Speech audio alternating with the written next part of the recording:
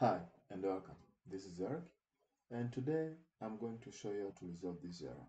Uh, you get something like uh, exception, and then says the metadata for input does not match the metadata for the associated associated output column. So I received this error when I was um, making a demo video on how to load data from multiple sources and uh, um, we were able to load data from multiple sources using Union All and we're able to import data but uh, for some reason um, employees ID were not coming through from a text file and the date hire date. So going through the package I noticed that I was getting this error and uh, because employee ID wasn't matching the employee ID which was coming from uh, um, SQL Server and hire date wasn't matching from the hire date which was coming from uh, SQL Server. So for some reason the data wasn't coming through. So I decided to make this video so that I can show you guys how to resolve this error. So let's go ahead and see exactly in Visual Studio. So this is my package. And uh, during my troubleshooting, I went to Union All and I can see uh, the input number two was ignored and here was ignored. And that's the reason why we don't see the information. And this number two is the input file, which is coming from an Excel file. I mean, sorry, a text file, which is a CSV. And this was coming from SQL Server. So um, gonna go ahead and look at the metadata. So just right click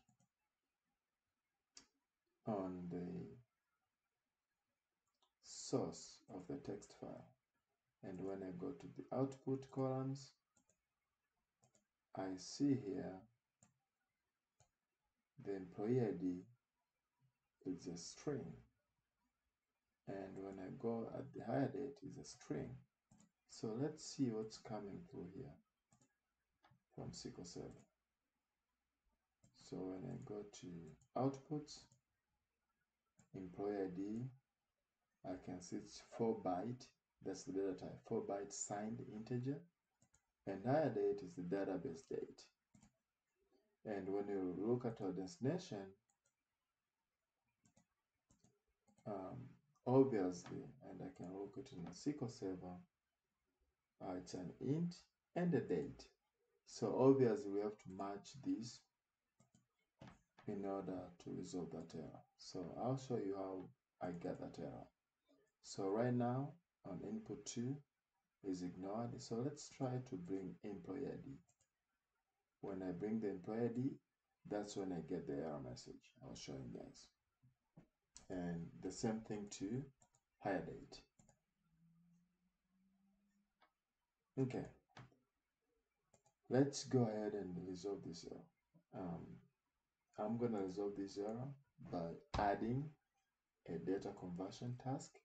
Again, if you don't know how to use this, please watch my previous video. Uh, okay, so I need employee ID and I need hire date. So if you remember, the employee ID, the data type was it was four byte signed integers if I'm not mistaken. And this here hire date it was not Unicode but it was database date. And the output columns will be copy of employee ID and copy of hire ID and for the sake of time, I'm just to leave the name as the error, but uh, you can go ahead and rename this. And then I'll go ahead and connect to my Union All. Uh, now,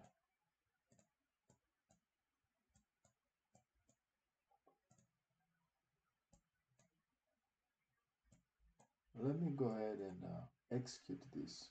No, let me go check and map.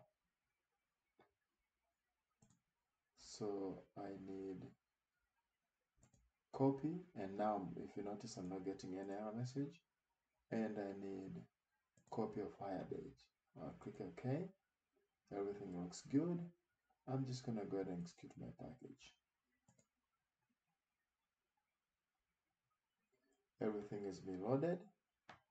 And let me see my data now. I'm gonna execute this to see what happens. And now you can see um, the employee number has been populated as well as my hire date. So uh, this video is just a short video to show you how we can tackle this error message if you get one.